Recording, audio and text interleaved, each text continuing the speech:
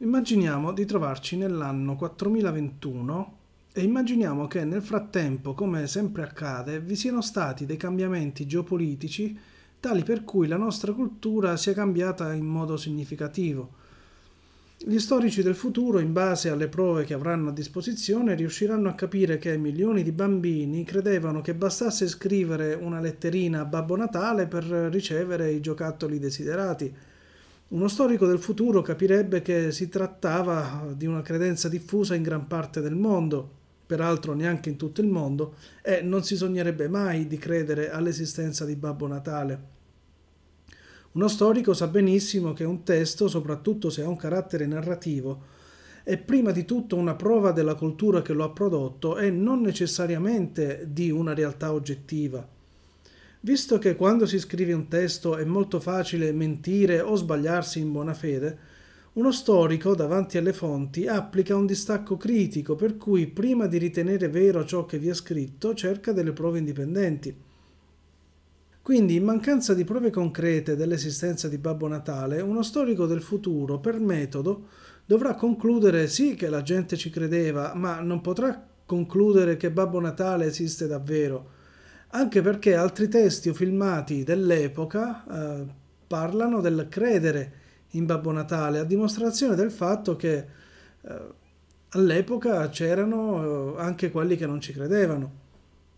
Ora, immaginiamo cosa direbbero gli pseudostorici del 4021. Ecco un paio di cose che potrebbero dire. All'epoca fare un film costava molto, quindi non potevano sprecare pellicola costosa per raccontare di cose inesistenti. Se così tanti film ne parlano, allora Babbo Natale deve esistere per forza. Oppure, visto che non esistono le slitte volanti e visto che le renne non volano, allora doveva trattarsi per forza di un UFO, perché noi non siamo soli nell'universo. Eh, queste argomentazioni sono sbagliate da più punti di vista. Intanto danno troppa fiducia ai testi o ai filmati antichi e soprattutto sono basate entrambe su salti logici. Cioè è vero che girare un film costa molto, ma ciò non vuol dire che tutto ciò che vediamo nei film sia vero. Anzi, è probabilmente vero che noi non siamo soli nell'universo, ma ciò non vuol dire affatto che la slitta volante sia in realtà un UFO. Non ci sono prove concrete, non ci sono ragionamenti metodici, ma si tratta di semplici pretesti per credere all'esistenza di Babbo Natale, magari perché ci si rifiuta di pensare che milioni di persone spontaneamente e indipendentemente regalassero giocattoli ai propri figli. Allo stesso modo, credere che sia esistita una civiltà primordiale che avrebbe dato origine alle varie civiltà che conosciamo ora, o credere che sia gli esseri umani, sia il grano, sia la patata dolce siano stati creati dagli alieni, vuol dire eh, voler credere a una causa unica, un'unica spiegazione eh, per una serie di fenomeni che ci si rifiuta di ritenere indipendenti e spontanei.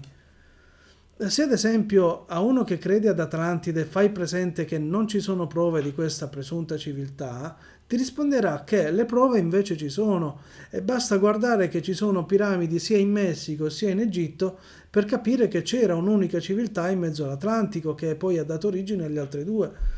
È come chiedere a qualcuno le prove di Babbo Natale, ti dirà certo che ci sono, basta guardare ogni anno, ogni Natale sotto l'albero e vedere che appaiono i doni. Cioè, in entrambi i casi si parte da un fenomeno reale, cioè che esistono le piramidi da entrambi i lati dell'Atlantico, oppure eh, che appaiono effettivamente regali sotto l'albero ogni anno a Natale. Ma per via di un salto logico, da questi punti di partenza veri si arriva poi alla conclusione a cui si voleva arrivare e quindi ci si rifiuta magari di accettare una spiegazione meno fantasiosa.